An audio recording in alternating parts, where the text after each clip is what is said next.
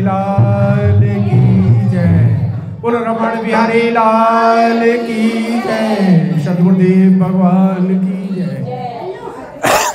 देखो, मनोरंजन तो हो ही गया आपका। सुंदर कांड का पाठ हुआ है, यहाँ से कुछ लेके भी जाओ।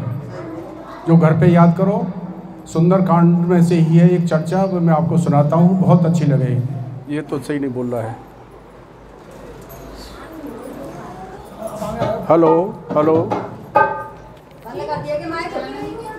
ये वाला चालू करो, ये वाला। हेलो हाँ। सुने? ये सुंदर कांड में से ये एक चीज़ बहुत बढ़िया है। कभी मनन किया होगा शायद आपने? हनुमान जी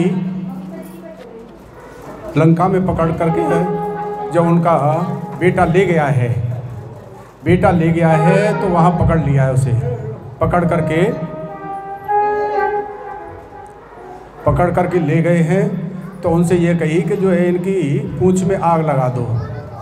अगर उस समय रावण को ये पता लग जाता कि मेरी बहन की नाक कान काटे हैं तो वो ये भी तो कह सकता था कि हनुमान जी की नाक कान काट के इसे भेज दो। लेकिन नाक कान काटने के लिए नहीं कहा। क्यों? इसलिए नहीं कहा। रावण, हनुमान जी को भी पता लग गई थी कि ये ऐसा कर सकता है कि इसकी बहन की नाक कान काटे हैं तो ये हमारी कटवाए। तो अपनी पूंछ को बार बार ले जा कर के माथे से चूमते थे, लगाते थे, चूमते थे। हनु रावण जब देख रहा था तो रावण ने कही कि इसे पूंछ को बहुत ज़्यादा प्रिय है। तो उसने कही कि इसकी पूंछ में आग लगा दो। तो ऐसा मत करना यहाँ से जा कर के कि हम यहाँ राम जी के पास जाना पड़े कभी तो नाक कट, कटवा करके जाएँ। ऐसा काम ना हो जाए हमारा यहाँ पे संसार में कि यहाँ से जब वहाँ जाना है तो नाक कान न कटे। ऐसे ही अच्छे अच्छे प्रोग्राम करते रहो। सुंदर कांड का पाठ एक सुंदर है। रामायण में सबसे ज़्यादा सुंदर है, इससे ज़्यादा सुंदर क्या कहीं नहीं, क्योंकि भक्ति से हनुमान जी का मिलन हुआ है। भक्ति कौन है? हमारी सीता माता। अब देखो, एक प्रसंग और आया है, उसे भी सुना दूँ। मेरे पे मन पे आ रही है। सबसे बड़ा अहम माताओं का ही रहता है।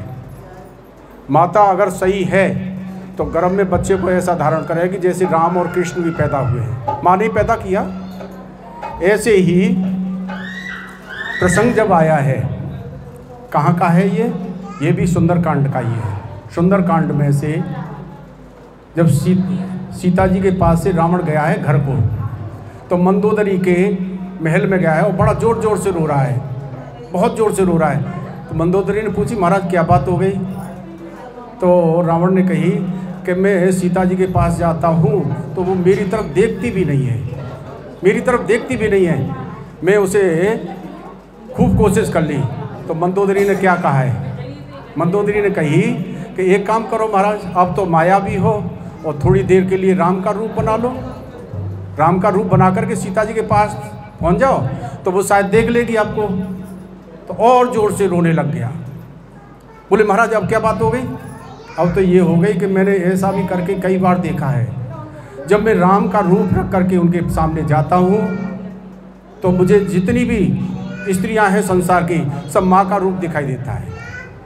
देखो कितना बढ़िया है कि एक नकली रूप रखने पर, भगवान का एक नकली रूप रखने पर और सारे संसार की महिलाएँ, स्त्रियाँ हाँ माँ लगने लग जाती हैं। तो इससे और बढ़िया क्या हो सकता है? बोलो जय श्री राधे, रमण बिहारी लाल की जय। जय जय सीताराम।